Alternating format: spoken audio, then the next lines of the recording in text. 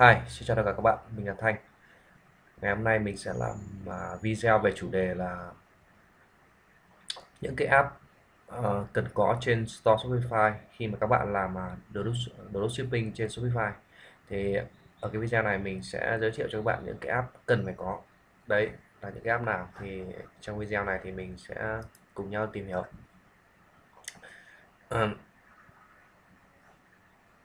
Ok, mình sẽ đi tìm hiểu. Đầu tiên là cái về cái vấn đề về các bạn muốn ờ, uh, sâu cái through kiểu là những cái người đã mua hàng. Mình sẽ tạo ra cái thông tin là những cái người mua hàng đã thanh toán. Thì ở đây thì các bạn có thể là để sâu cho cho cho khách hàng ấy. Thì ở đây thì mình có thể là sử dụng hai cái app này đó là cái app Zo này, Resend Sale Notification này. Đấy, thì nó sẽ uh, cái app này mục đích là nó sẽ hiển thị cái pop-up. Đấy, thì khách hàng họ truy cập vào website của mình đấy thì nó sẽ thị pop up là những cái những, uh, những cái sản phẩm uh, nào mà đã được uh, khách hàng mua ấy, trong cái thời gian gần đây. Đấy. Thì cái thông tin này thì các bạn có thể là tự tạo hoặc là nó sẽ tự đồng bộ với cái cái đơn hàng trên store Shopify của bạn. Đấy để nó hiển thị ra. Thì tương tự cái app cái tính năng uh, hiển thị cái cái đơn đơn hàng này ấy.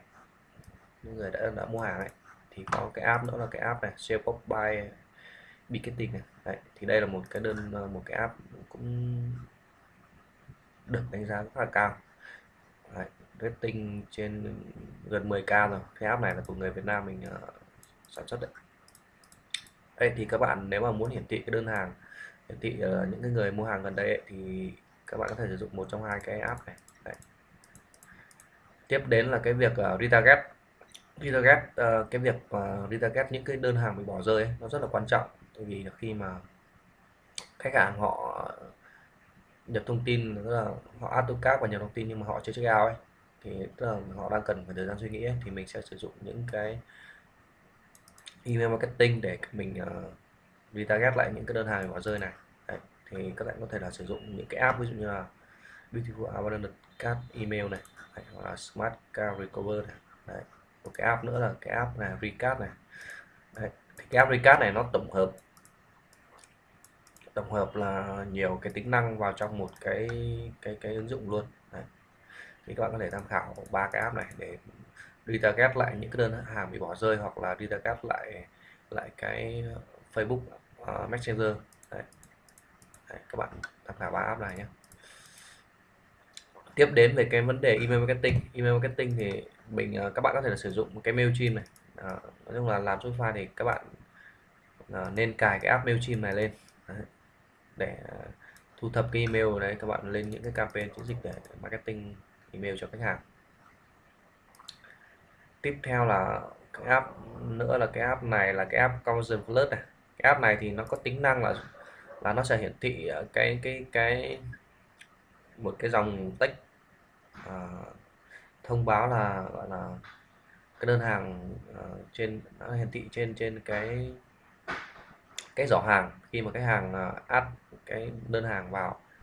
Nó hiển thị ra cái cái thời gian chạy là tức là cái cái này nó giúp là gọi là tăng cái khả năng là làm cho khách hàng là sợ bị mất cái đơn hàng ấy. Là cảm giác là cảm giác bị bỏ ờ, bị bị bị mất. Cảm giác lo sợ bị mất cái đơn mất cái đơn hàng đấy, đấy thì cái, dùng cái app này thì là giúp cho khách hàng họ đưa ra quyết định check out và mua hàng nhanh chóng.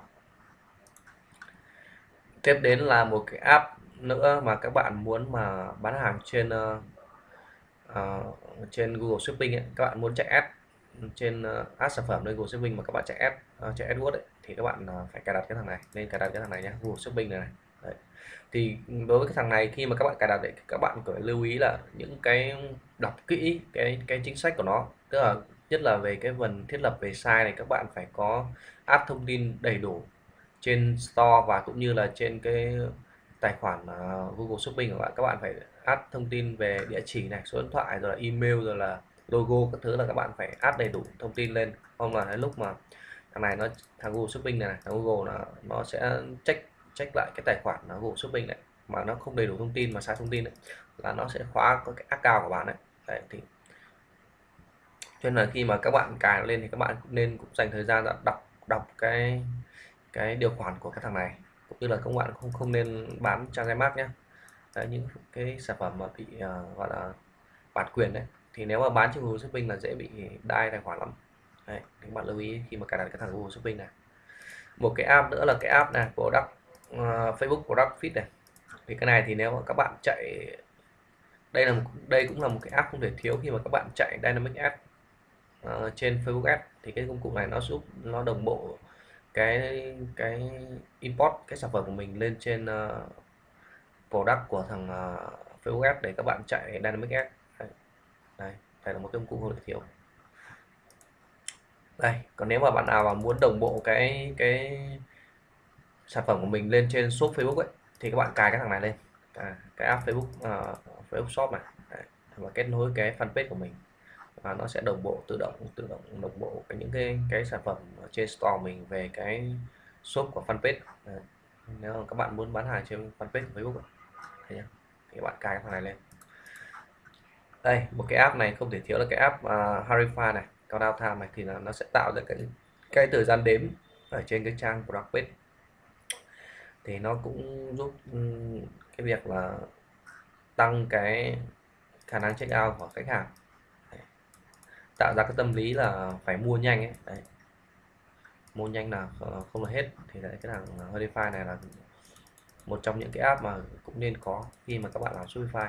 Thì cái app này ấy, thì nó sẽ thực ra thì cái app này ấy nó sẽ ứng dụng cho những cái cái team mà nó nó nó team của Shopify hoặc là những cái team mà không có tính năng gọi là đếm thời gian này cao đao này. Chứ hầu hết hiện tại những cái team mới hiện nay ấy, thì team mới mà các bạn mua có có có phí ấy.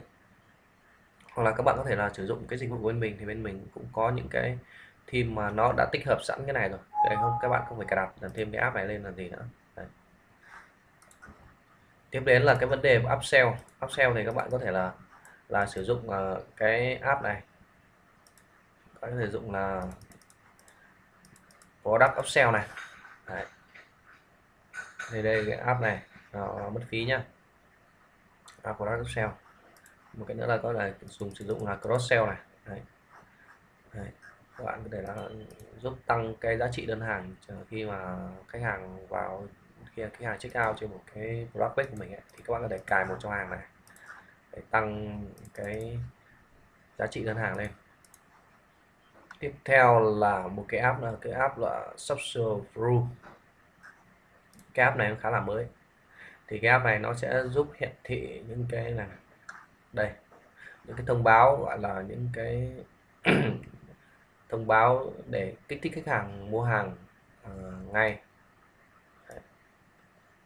Đấy. những cái thông tin này này ờ, uh, sâu ra những cái through trên cái trang product page của mình để để khách hàng họ quyết định check out luôn Đấy, cái app này